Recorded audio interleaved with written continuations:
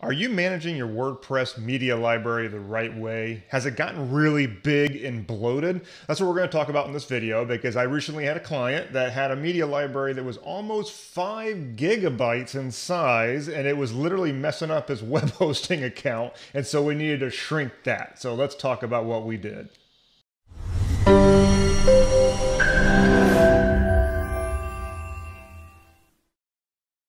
Okay, so I had a client. He hired us to do some uh, tech service on his uh, site, on his membership site primarily. And pr- what we're really working on is some stuff to split the membership site apart and really fine tune that thing so he can make more money with it. But we had an issue, and that was that his media library had gotten so big and bloated that I literally couldn't even create a staging site on his hosting account because it went over the amount of disk space that the host gave him. Okay.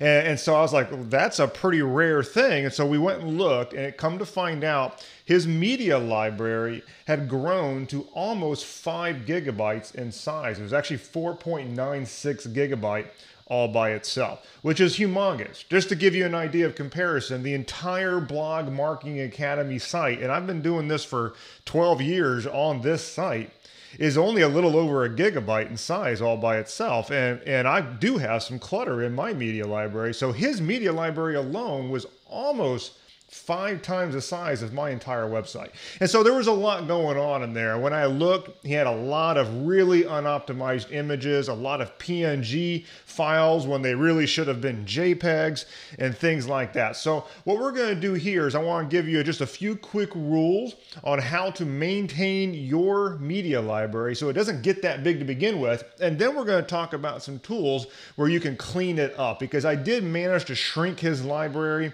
by about 45%. Um, I could have taken it further, but it gets to a certain point where you cut, you have more important things to do. But we did solve the disk space issue, and I shrunk it significantly. We shaved well over two gigabytes in size off of it, and I want to talk about what we did. Okay, first, some rules to keep your media library managed to begin with. The first thing you want to keep in mind is that you want to use the correct image size formats to begin with. Now, here's the thing your Mac, and he was using a Mac, your Mac, if you're using one, of course, will take screenshots in PNG format by nature. Okay, now uh, that's a really big image format. PNG is a great image format, but it's really one that you only want to use if you are using uh, something that has a transparent background behind it. Okay, if you're using a photo, and most of the images that we put on our WordPress sites are photos, then I highly recommend that you use JPEG. JPEG is a much better compression, it's a much smaller file size, and it looks really good. Okay, so do not use PNG format unless you've got a legitimate reason to use it. And that's primarily for a transparent image where you need an image to go over top of some colored background and actually have it look good and not granular and stuff like that. That's an important reason to use PNG. Otherwise, use JPEG. Now, in his case, we we shaved a lot of file size off his media library by simply converting all of his old PNG files from that he took as screenshots on his Mac and I moved them over to JPEG format. And I'll show you coming up here how we did that. But that's the first thing. Definitely use JPEG. Uh, PNG only for transparent, and then for the GIF format, you pretty much are only going to use the GIF format if you have some kind of an animated meme type of a deal, or if it's just like a tiny little icon or something. But otherwise, it's pretty much all going to be JPEG. The next thing is going to be to reduce the size of your images to begin with before you even upload them. Now, a lot of times we will upload photos. And sometimes you take your photos on your phone or on a DSLR camera or something like that. And even these phones can take really large images that can be 3,000 to 5,000 pixels wide. They're like big, massive images that you can blow up, right?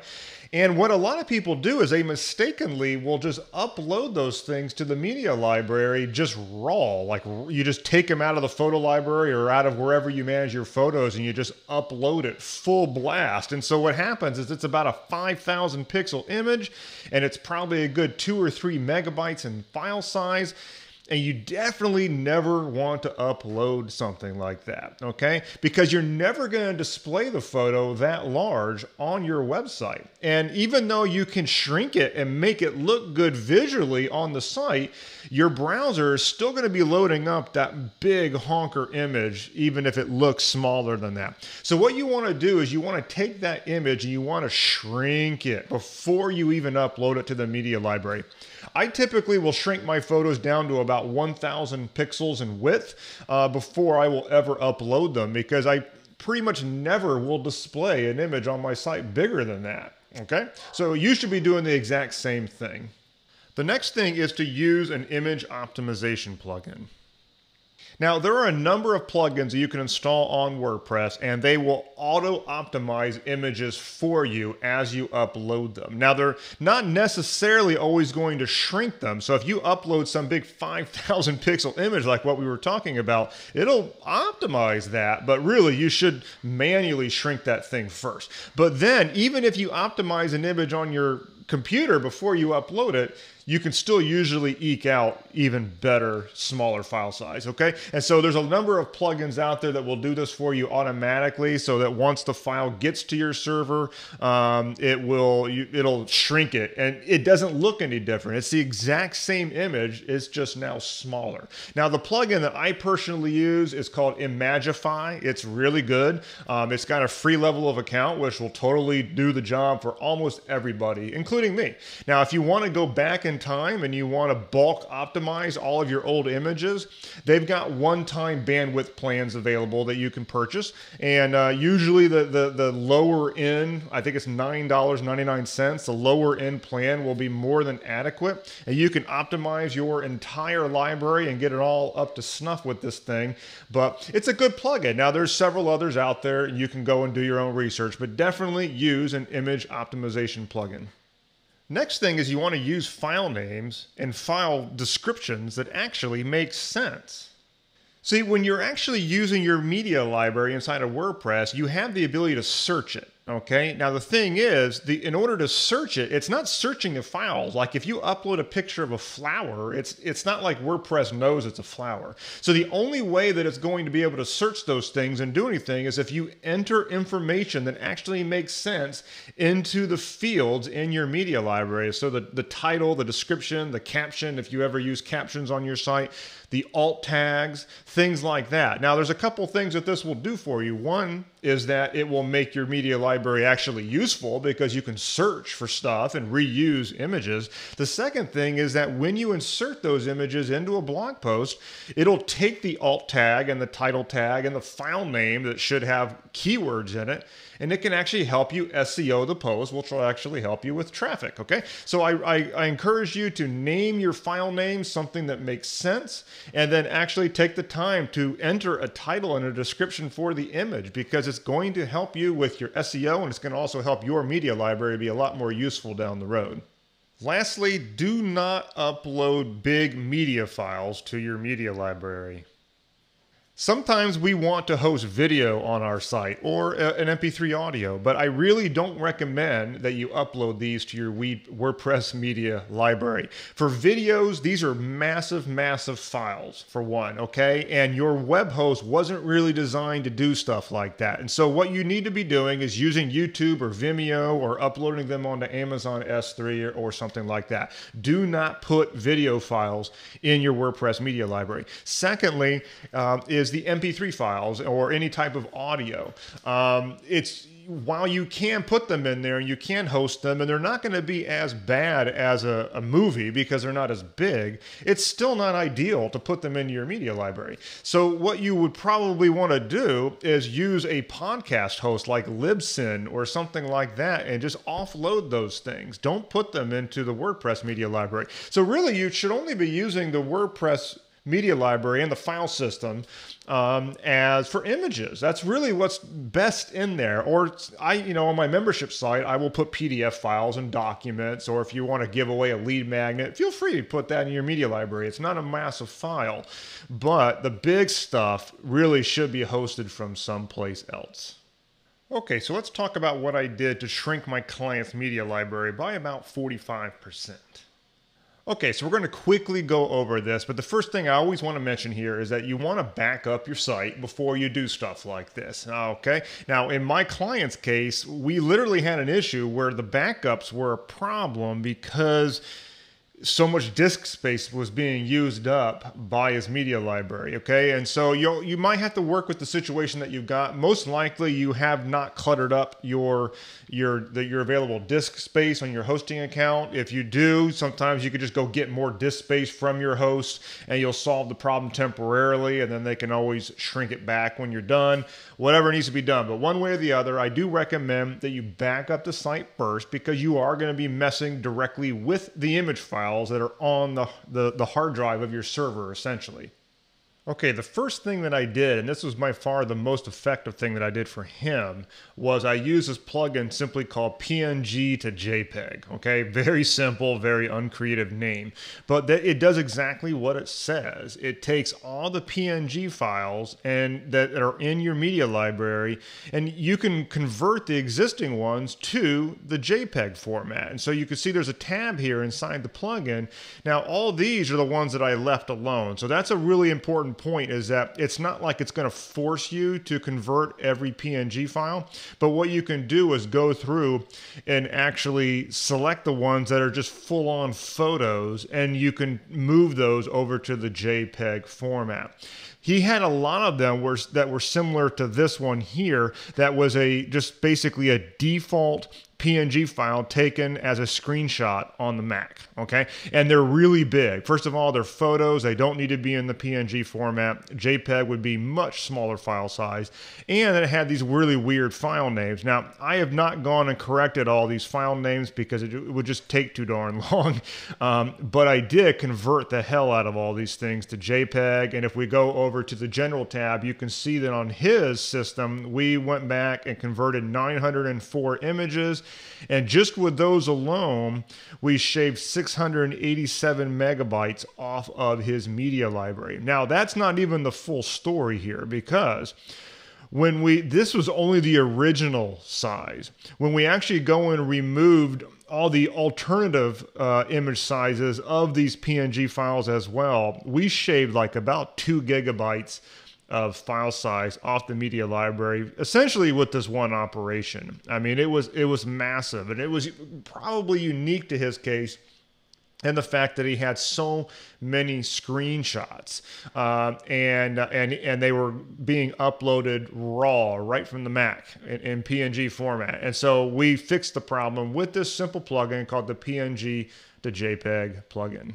The next thing that I did was I went and I used the Imagify plugin and we went back in time in the media library and we did a bulk optimization of the whole darn thing. Okay, uh, so we went ahead and purchased a just a one-time bandwidth plan. He still has quite a bit of it left over actually, uh, and we were able to, to basically now that we've got all those JPEG files, we were able to create really optimized versions of them. Also, any other JPEG files that he had originally uploaded we were able to optimize those as well and shrink even more of the those images down to just a smaller, leaner version. So we use the Imagify plugin. There are other options out there. Uh, I link to them below in the blog post so you can actually go and check those things out for yourself. There's really no shortage of them because image optimization is a pretty standard thing to do inside of WordPress. But we used, or I used, Imagify and we went back in time and bulk optimized them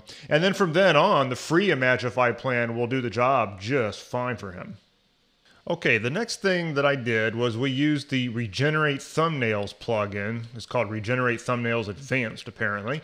Um, and it's a free plugin, and it does exactly what it says. It will go back and it will regenerate the thumbnails that are automatically generated by WordPress. Now, the thing to keep in mind here is that WordPress is auto generating various sizes of every image that you upload, and it's doing this automatically, and there's pretty much nothing to do the stop it okay? And and so it's and it's also quite frankly not something that you really need to think about that much. Now in his case in my client's case he was uploading a lot of images that were just way too large. And so it, we actually were able to solve some issues by going back and regenerating the proper thumbnail sizes. Okay. But the other thing that this thing does is that uh, the, the, I forgot what version of WordPress that this started in, but WordPress will generate these big honker images of 1536 and 2048. He had a uh, has a uh, uh, a custom one that's being that put on here by something that he's using for Infusionsoft.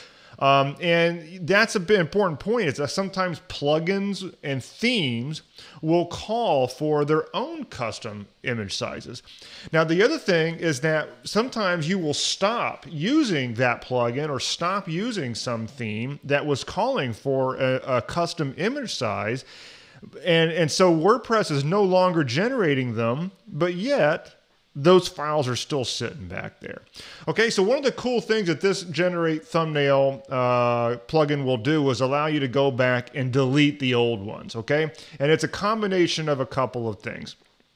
First of all, you notice here that we check off the ones that we want to actually regenerate. And these thumbnail, medium, medium, large, and large are the pretty much the standard ones that WordPress does.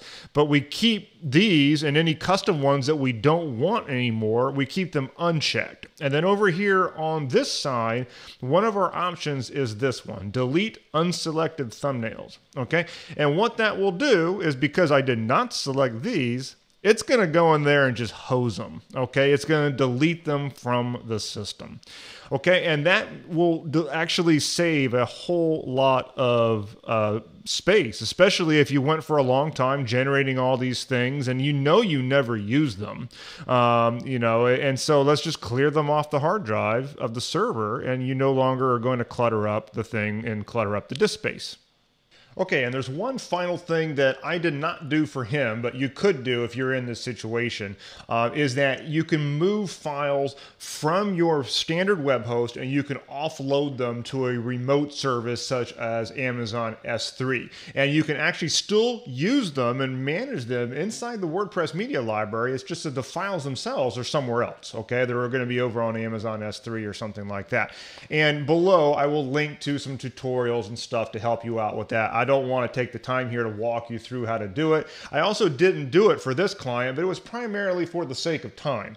Now, he only had like one or two video files in the media library, thank God, okay? Um, and he's pretty good at putting everything on YouTube, so that's great. He does have a bunch of audio files in there, and they were of the MP3 format, and it's not ideal to have them inside the WordPress media library. They really should be either on Amazon S3 or Libsyn or something like that. But again, it, this is one of the things you always got to keep in mind is that you can spend a lot of time trying to reach perfection when it comes to shrinking these things down as much as humanly possible. But at the end of the day, sometimes you just need to apply the 80 20 rule to this bad boy and move on because we have more important things to be doing to grow our businesses than sitting there trying to shrink the size of a media library. And so, at the way it is at this point, I was able to get his media library shrunk by about 45%. I believe we brought it down to 2.76 gigabytes. We started off at 4.96. So basically, we shaved 2.2 gigabytes off the file size of his media library. And we were able to solve the disk space problem on his host. He can now create staging sites without, uh, you know, stretching out his account to the limit. And, um, and we can move on with bigger and better things. Okay, so hopefully that was helpful in terms of how to manage your own media library and then also how to shrink it if you've sort of been exercising some bad habits up until now. You can actually shrink it, get it, you know, kind of cleaned up, and then start applying those five rules from here on out, and your media library will be fine, okay? You're always going to have some stuff back there that you don't use. WordPress is auto-generating different image sizes back back there, and chances are most of them you don't use.